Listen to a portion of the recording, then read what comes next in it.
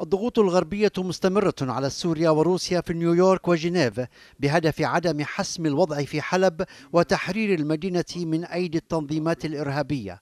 المبعوث الدولي ستefan دي مستورة كرر عرض تسليم شرقي حلب إلى المجموعات المسلحة المعتدلة وتزويد المنطقة بالمؤن بعد إخراج جبهة النصرة ومسلحين راغبين بكرامة مع ترك السيادة السورية لوقت لاحق. But there is a temporary arrangement can be and should be done in order to make sure that uh, the cessation of hostilities and the protection of those who remain remain. One day, everything will become again back to national sovereignty.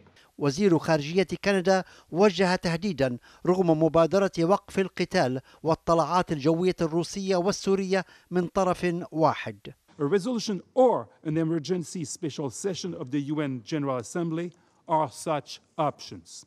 لكن مندوب روسيا استهجن المواقف المواربة وقرأ لمندوبة الولايات المتحدة اعترافا لنائب الرئيس الأمريكي جو بايدن بأن بلاده دعمت كل من يريد إسقاط النظام السوري ومن ضمنهم القاعدة وداعش والنصرة Here we've got representatives of some countries in the room who are very aware that their countries finance and provide weapons to terrorist organizations, Nusra, ISIL, and others.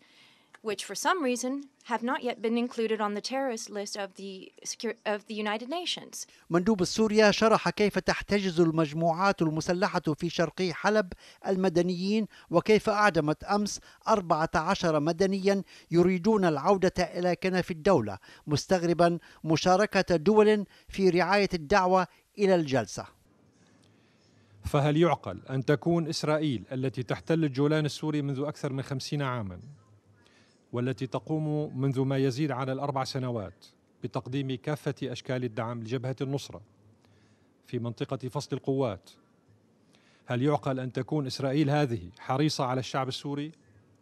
وانفض الاجتماع الاستثنائي من دون تبني أي مواقف محددة فالتنظيمات المسلحة في حلب أحرجت بعنادها الكثير من الأطراف الدول المنظمة لهذا الاجتماع تعتبر أن مجلس الأمن الدولي فشل في حل الأزمة السورية بسبب الفيتو الروسي وهي ترمي إلى جعل الحالة في سوريا بندا دائما على جدول أعمال الجمعية العامة أسوة بالقضية الفلسطينية.